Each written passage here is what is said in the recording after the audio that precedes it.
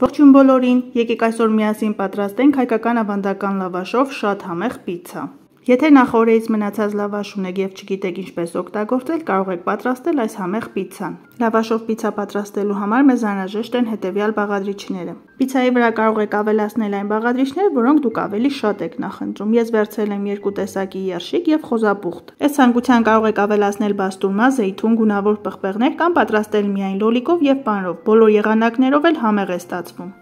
Մեզ անհրաժեշտ է նաեւ մանր կտրատած լոլիկ։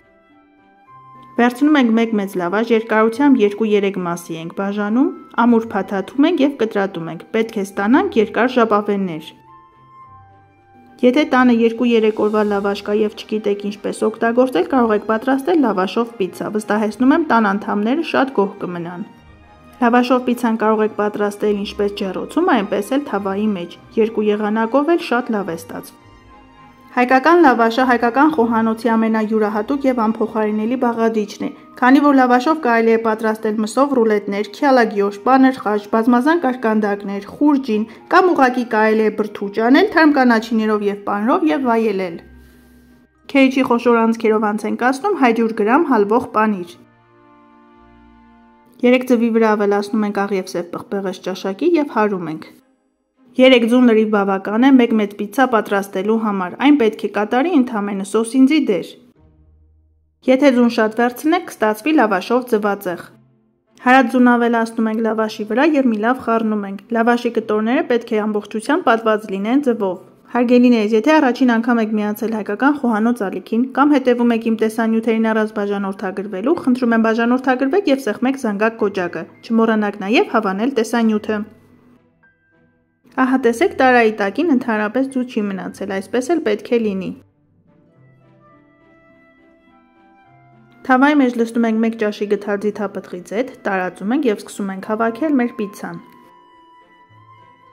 Թավայի մեջ լցնում ենք լավաշով եւ ձվով զանգվածը եւ համաչափ տարածում ենք։ Ավելացնում ենք կեչուպ, մանր կտրատած լոլիկը, երկու տեսակի երշիկը, խոզապուխտը եւ վերջում ավելացնում ենք քերած պանիրը։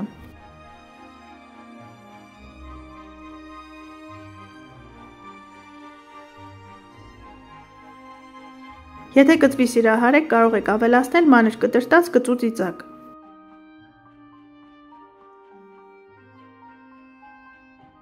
Փակում ենք թավան, դնում ենք ցածր կրակի վրա եւ թողնում ենք 4-ից 5 րոպե, մինչեւ պանիրը ամբողջությամբ հալվի։ Հարգելիներս, նկարագրությունների բաժնում կթողնեմ նաև լավաշով պատրաստվող շատ համեղ ուտեստների բաղադրատոմսեր։ 3 րոպե անց մեր պիցան ահա այսպիսի տեսք ունի։ Թողնում ենք եւս 2 րոպե եւ մատուցում ենք։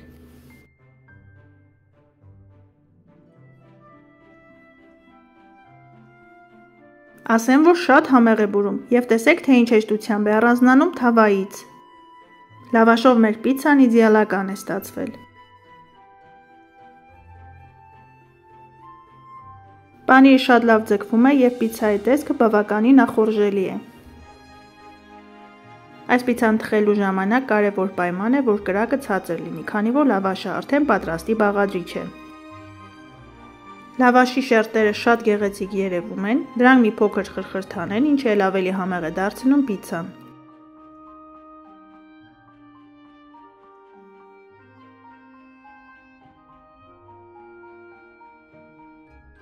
Դե ինչ հարգելիներս, այսօր էլ այսքանը։ Պատրաստեք սիրով եղեք առողջ եւ օրհնված։ Ցտեսություն, կհանդիպենք հաջորդ տեսանյութերում։